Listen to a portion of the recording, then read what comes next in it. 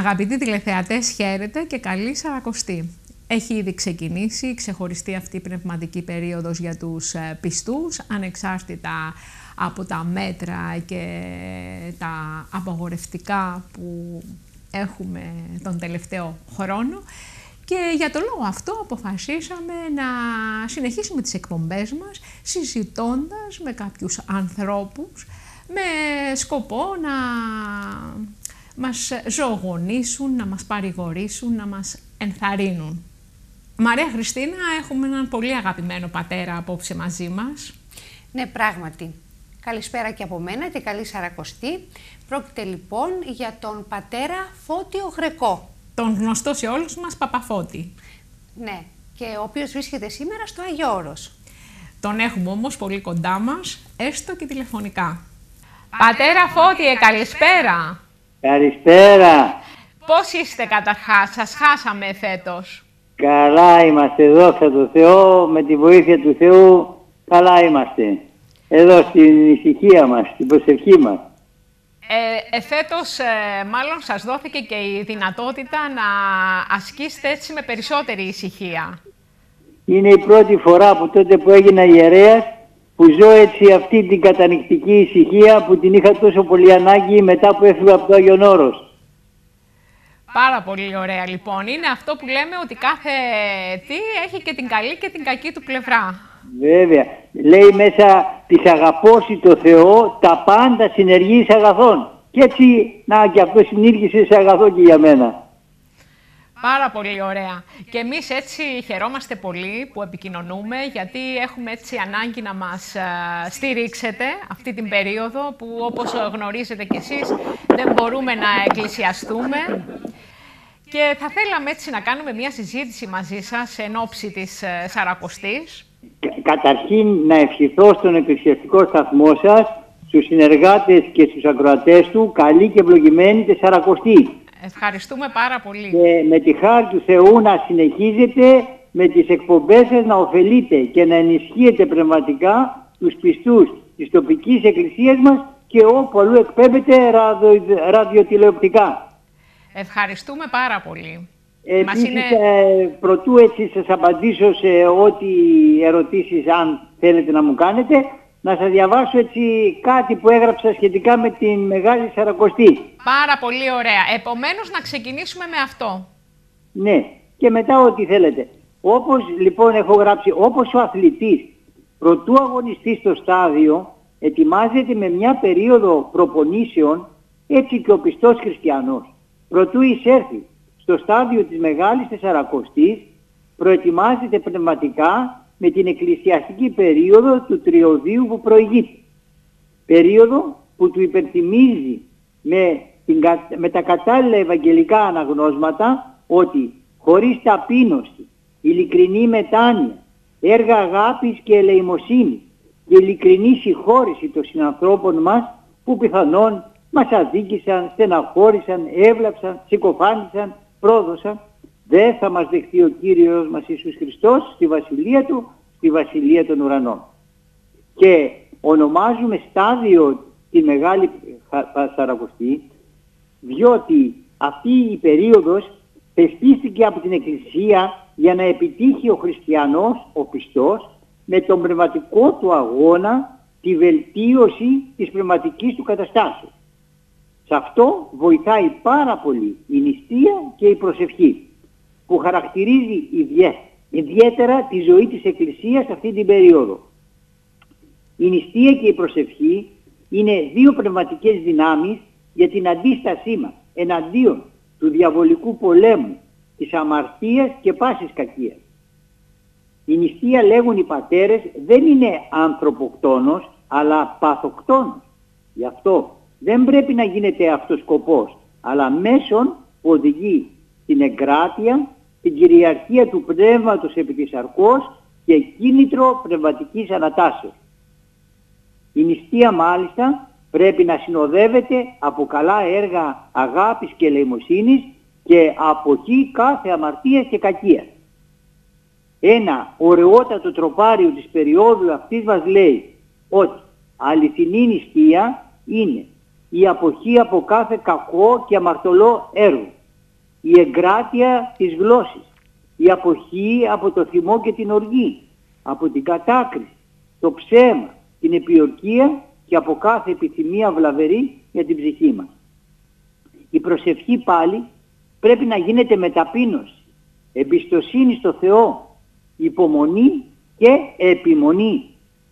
Η σειρά της προσευχής μας πρέπει να είναι πρώτα δοξολογία προς το Θεό, έπειτα ευχαριστία για όσα μας παρέχει η αγάπη Του και τέλος αίτηση όπου ζητούμε πρώτα τα πνευματικά μας αιτήματα και έπειτα τα υλικά και καθημερινά.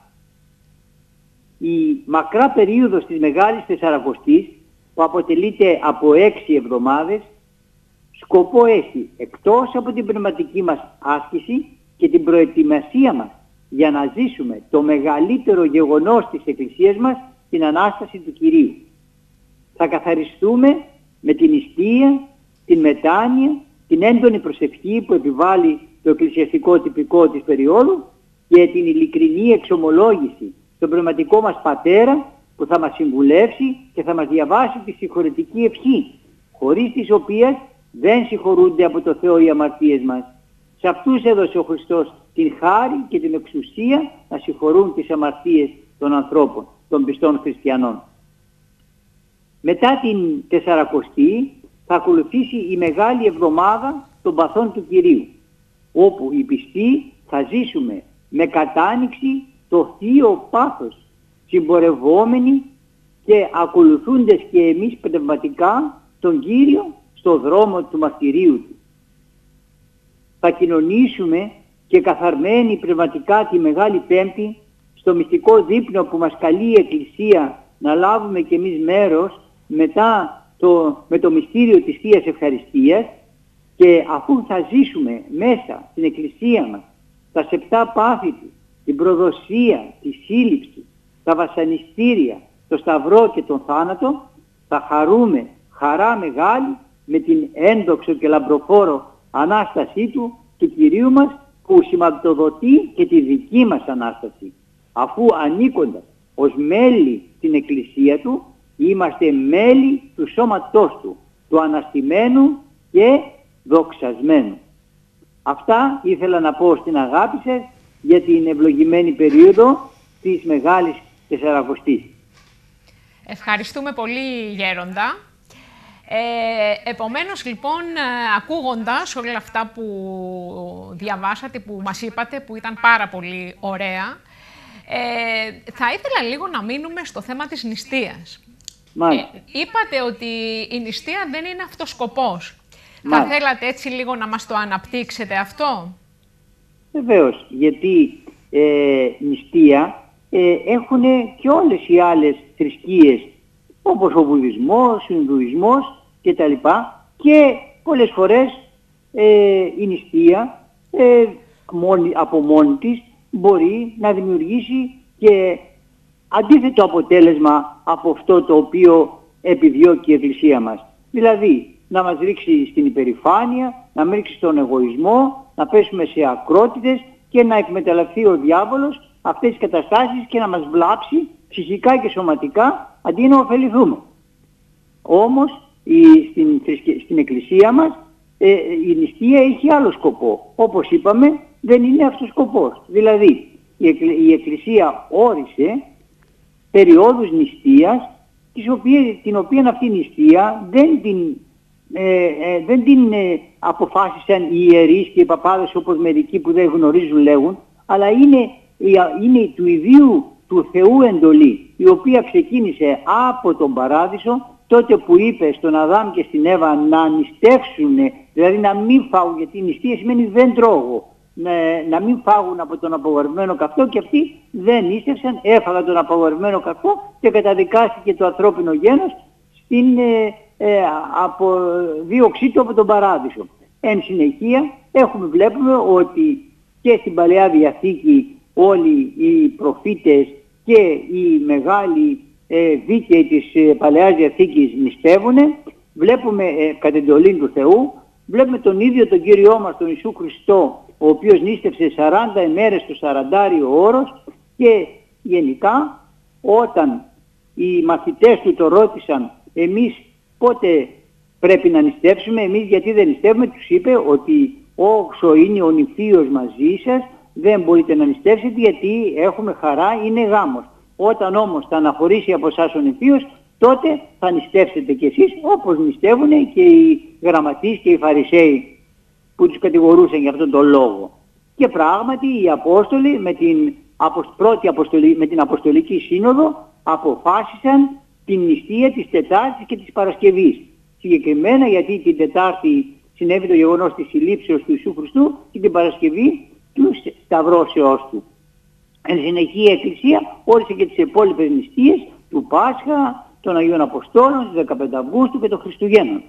Άρα λοιπόν η νηστεία είναι, και είναι καθορισμένη από την Εκκλησία μας και ο σκοπός της είναι όπως είπαμε να μας εξασκήσει στην εγκράτεια και να μας βοηθήσει να συγκεντρωθούμε περισσότερο στον πνευματικό μας αγώνα και στον προορισμό μας που έχουμε σε αυτή τη ζωή. Δηλαδή την ετοιμασία μας, την ολοκλήρωσή μας στην πνευματική. Αν γίνεται λοιπόν με υπακοή στην Εκκλησία, με ταπείνωση και γνωρίζοντας ποιος είναι ο σκοπός της, ωφελεί πάρα πολύ νηστεία. Αν όμως γίνεται για άλλους λόγους ή ακόμα καμιά φορά και για λόγους διέτης, όπως συνηθίζουν σήμερα να λένε οι διατροφολόγοι ότι πρέπει να νηστεύουμε και όλα αυτά, τότε δεν ωφελεί ψυχικά. Αυτά έτσι εν συντομία. Τώρα αν θέλετε κάτι άλλο συμπληρωματικό, ευχαρίστως. Ναι, θα ήθελα να σας ε, ρωτήσω για τα διάφορα υποκατάστατα που συνήθως εμείς στον κόσμο ναι. αναζητούμε και υπάρχουν σήμερα άφθονα.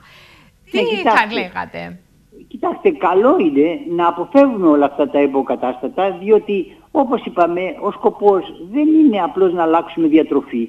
Ε, ο, ε, ο σκοπός είναι να στερηθούμε πραγματικά κάποια πράγματα που τα έχουμε άφθονα στην υπόλοιπη περίοδο του χρόνου, ώστε να μπορέσουμε και εμείς να προσφέρουμε μια θυσία στο Χριστό, να κάνουμε και εμείς έναν αγώνα προσωπικό και να δείξουμε και εμείς όσο μπορούμε στον Κύριο την θέλησή μας, τη διάθεσή μας, την προαίρεσή μας, ώστε να στείλει τη χάρη του ο Θεός. Διότι αν ο Κύριος μας δεν μας ευλογήσει και δεν στείλει τη χάρη του, ό,τι και να κάνουμε δεν θα έχει κανένα αποτέλεσμα στη ζωή μας και στον αγώνα μας τον πνευματικό.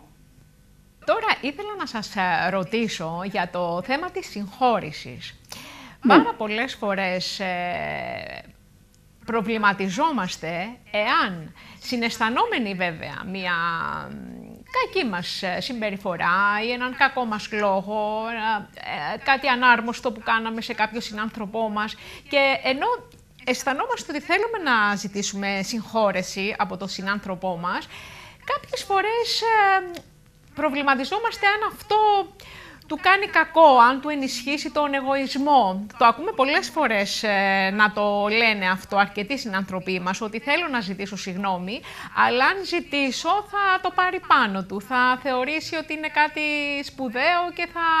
δεν θα τον βοηθήσω πνευματικά. Τι έχετε να πείτε πάνω σε αυτό; Κοιτάξτε, όχι, δεν συμφωνώ με αυτή τη σκέψη, μάλλον είναι πειρασμική, γιατί εμείς πρέπει να παραδειγματιζόμαστε από τον Κύριο και Ιησού Χριστό μας, τον αρχηγό της θρησκείας μας, της πίστεώς μας, της ζωής μας. Λοιπόν, ο Ιησούς Χριστός μας μας είπε να συγχωράμε και να συγχωράμε αδιακρίτως και να αγαπάμε εχθρούς και φίλους με τον ίδιο τρόπο και μάλιστα ή δυνατόν να ευεργετούμε και τους εχθρούς μας.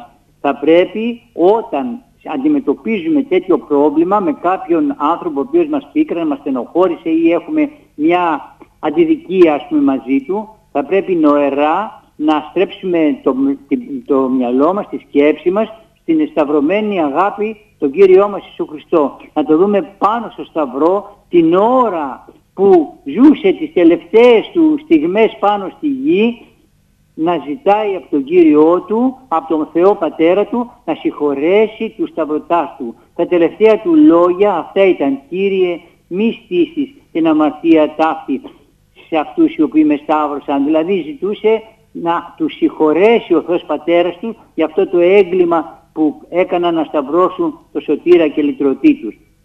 Θα σκεφτόμαστε λοιπόν αυτά τα λόγια του Ιησού αυτήν τη συμπεριφορά του Κυρίου μας και με αυτόν τον τρόπο και εμείς θα συγχωράμε μέσα από την καρδιά μας αδιακρίτως και τότε θα έρχεται η χάρη του Θεού, η οποία και εμάς θα ευλογεί και θα επισκιάζει για αυτό που κάναμε, αλλά και με έναν πνευματικό μυστικό τρόπο θα ειδοποιείται εσωτερικά και ψυχικά και ο άλλος ότι πράγματι έχουμε καλή διάθεση και ταπείνωση με την οποία προσπαθούμε να ζητήσουμε συγχώρεση και ε, ξανά να βρούμε την καλή σχέση που είχαμε μαζί του πριν γίνει ένα κακό γεγονός που έγινε μεταξύ μας και αυτός θα πληροφορηθεί από το Θεό και θα ηρεμήσει και αυτός και θα δεχθεί αυτή τη συγγνώμη και θα τον ωφελήσει και αυτόν. Αλλά το στεφάνι το παίρνει πάντα, λέει ο Κύριος, αυτός που πρώτος ζητάει συγγνώμη γίνεται λέει όμως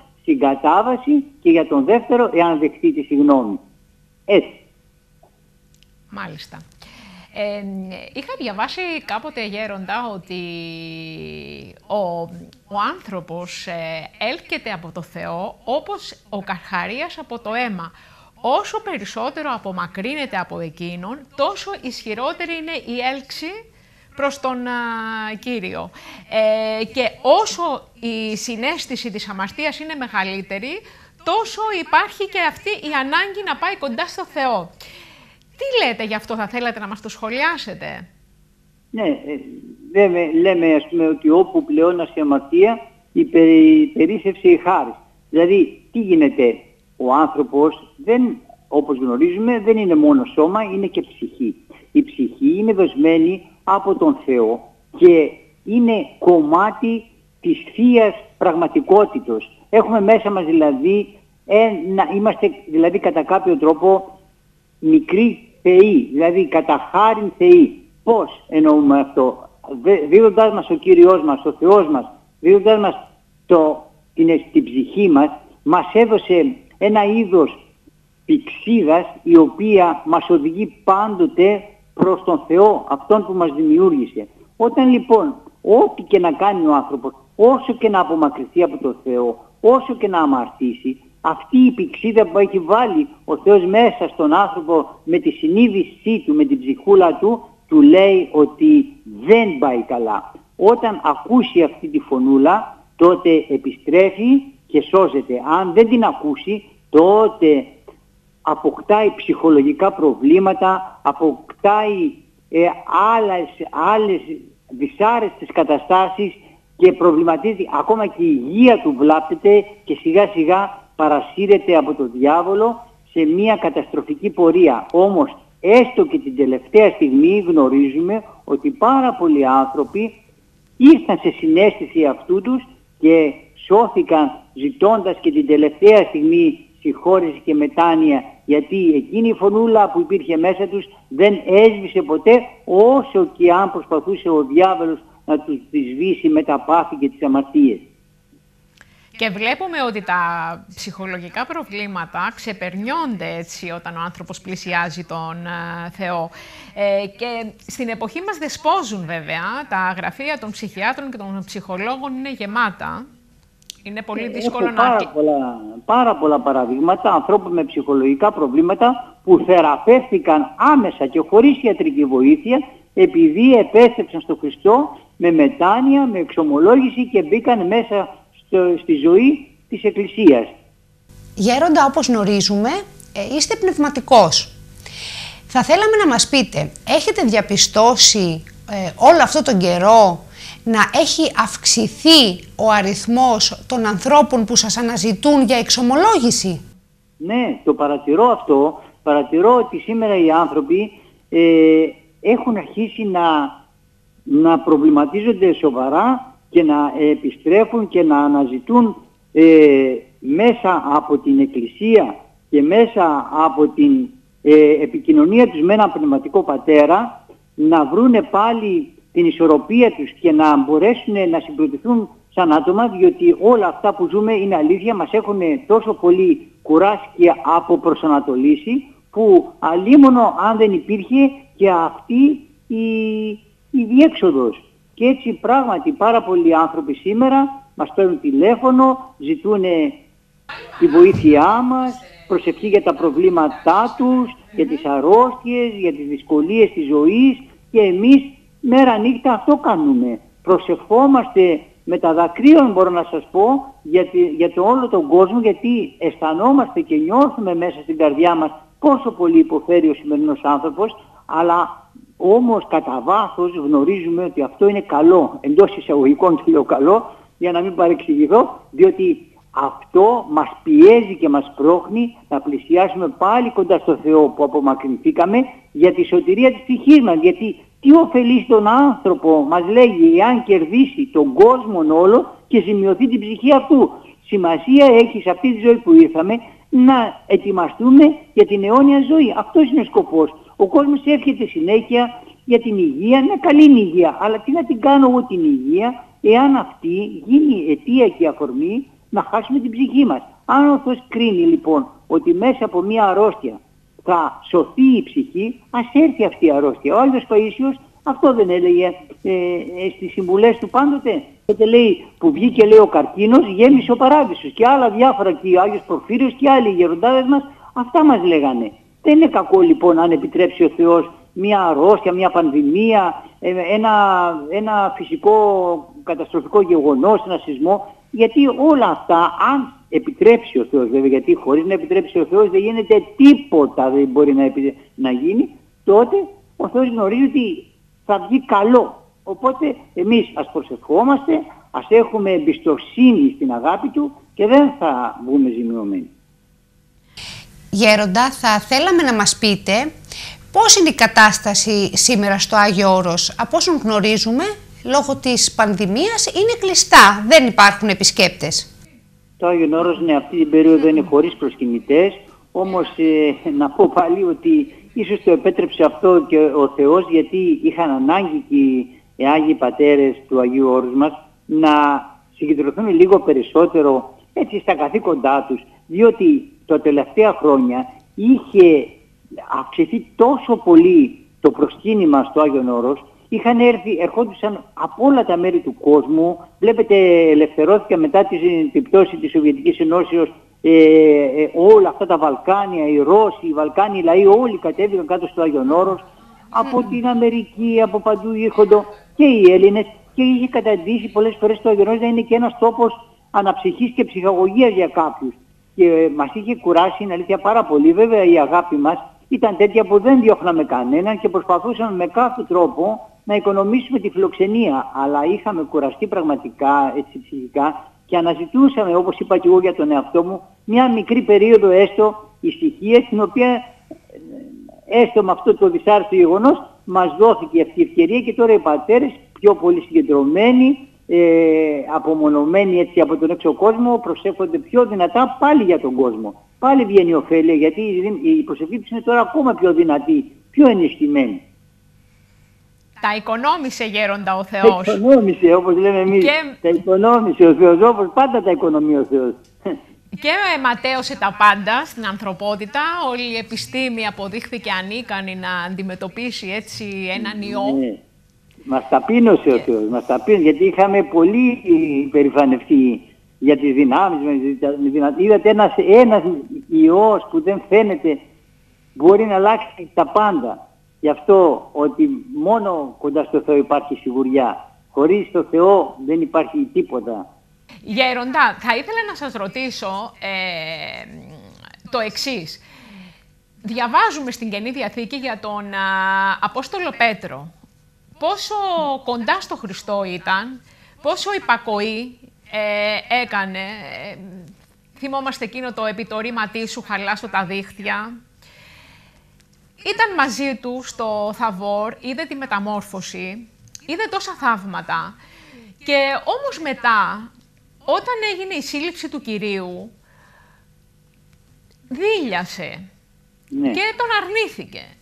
Ναι. Λοιπόν, πόσο εύκολο είναι για μας αν ο Απόστολος Πέτρος που ήταν μαζί του και